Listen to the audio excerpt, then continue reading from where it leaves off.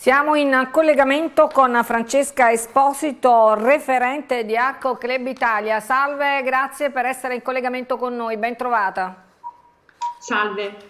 Allora, i ragazzi di, con disabilità e i ragazzi con, eh, del centro di giustizia minorile insieme per tutelare l'ambiente. Cosa concretamente è stata questa iniziativa e qual è stato l'obiettivo?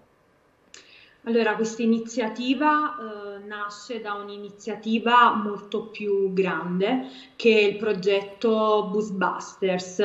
Il progetto Busbusters insieme al Centro di Giustizia Minorile di Napoli eh, ed insieme anche ad altri enti come la Marina Militare, il Corpo Militare di Malta e i circoli del Borgo Marinaro di Napoli ehm, hanno eh, creato eh, appunto questo progetto che prevede eh, la, eh, una sorta di riscatto da parte di questi ragazzi che frequentano l'area penale eh, del, diciamo, della regione Campania creando appunto questo progetto che prevede uh, una, una, sorta di tutela da parte loro uh, del, del nostro patrimonio ambientale. Ci tengo a precisare che non sono i ragazzi di Nisida, ma sono i ragazzi del centro di giustizia minorile dei Colli Aminei eh, e sono praticamente ragazzi sicuramente dell'area penale, ma eh, sono comunque ragazzi che vivono o presso le loro famiglie o presso comunità.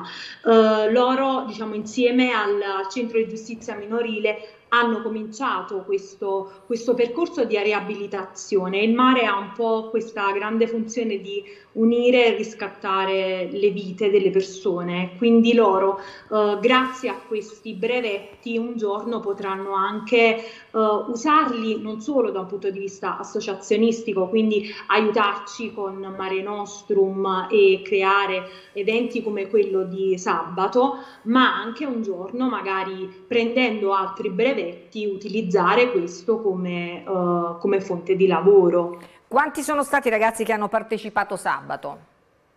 Uh, I ragazzi uh, del, della, del, centro di giustizia minorile sono i nostri ragazzi del progetto Busbusters che sono sette ragazzi e oltre ad altri ragazzi volontari che sono venuti da, da ogni parte del, della provincia di Napoli, oltre alla nostra sede napoletana che è l'Archeoclub di Napoli, sede Partenope, oltre vabbè, a, ad altre associazioni che hanno, che hanno partecipato o anche liberi cittadini che erano semplicemente scesi a Posillipo per fare il bagno e ci hanno, ci hanno visto e hanno deciso di contribuire anche loro. Qual è la condizione del nostro mare?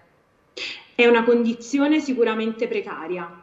Uh, il mare è un, uh, è un bene da, da, tutelare e da preservare uh, e il, il mare del, di Napoli è, è, sicuramente in condizioni precarie, come dicevo. abbiamo veramente bisogno di tavoli funzionali, non solo a parole.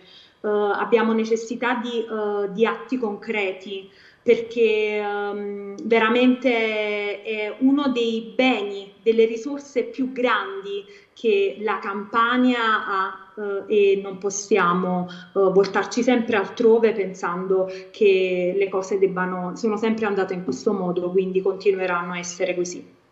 Grazie, arrivederci e buon lavoro. Grazie e buon lavoro a tutti voi.